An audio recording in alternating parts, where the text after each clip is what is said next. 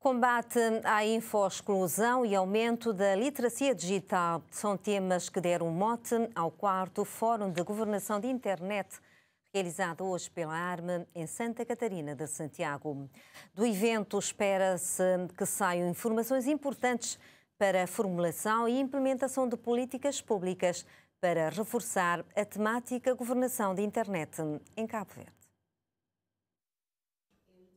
Especialistas ligados ao mercado digital abordam a segurança na internet em Assomada. A presidente do Conselho de Administração da ARMA não tem dúvidas de que é necessário fortalecer a cultura de segurança cibernética.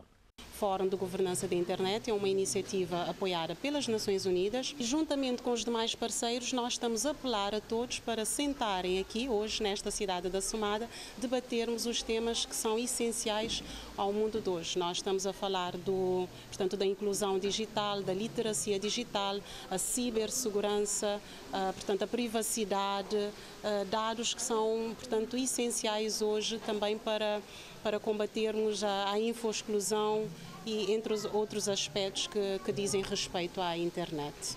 A Agência Reguladora Multissetorial da Economia pretende aumentar o nível de literacia digital e conta com o engajamento de entidades para que esta temática possa ganhar relevância. Leonildo dos Santos afirma que a sociedade da era da informação apresenta uma série de desafios que exigem uma ética digital.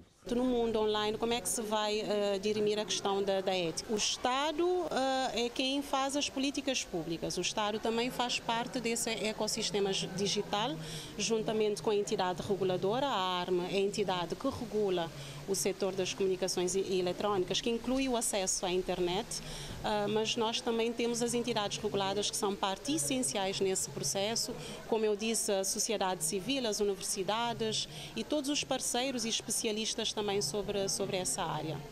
Miss Leide de Oliveira, técnica da NOSE, é uma das painelistas do fórum e aborda a cibersegurança e privacidade.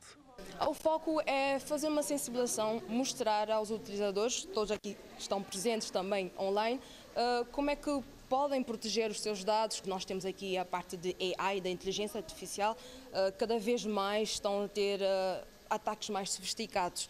Infelizmente, muitas das nossas soluções ainda estão a tentar colocar-se a par das novas ameaças, mas sabemos que temos ainda muito trabalho pela frente, exato, muitos desafios e que nós podemos conseguir enfrentar a maior parte de, das ameaças.